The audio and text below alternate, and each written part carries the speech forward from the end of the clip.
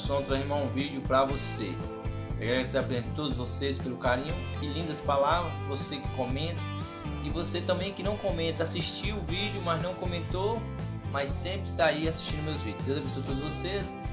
E também quero agradecer a todos os meus amigos que acompanharam desde o começo e está aí comigo até hoje. Deus abençoe todos vocês. E abençoe também aquele que não permaneceram aí comigo, mas Deus abençoe todos vocês.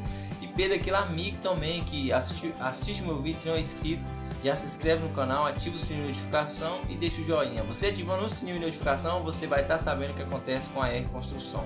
Então, meus amigos, chegou na hora de fazer o desempenho e eu vou estar mostrando vocês passo a passo aí como fazer um desempenho. Beleza, meus amigos?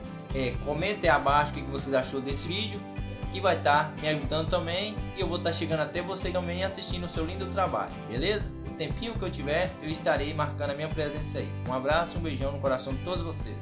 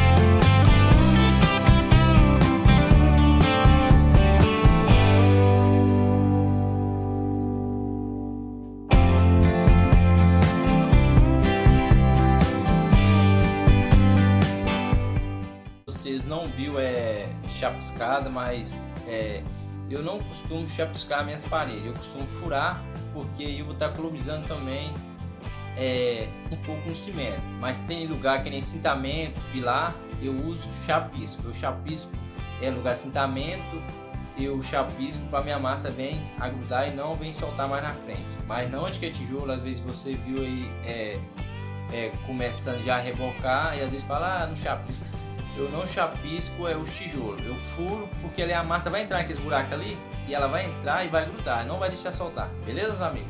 Um abraço e um beijão no coração de todos vocês aí. Que Deus abençoe todos vocês. Tamo junto. Forte abraço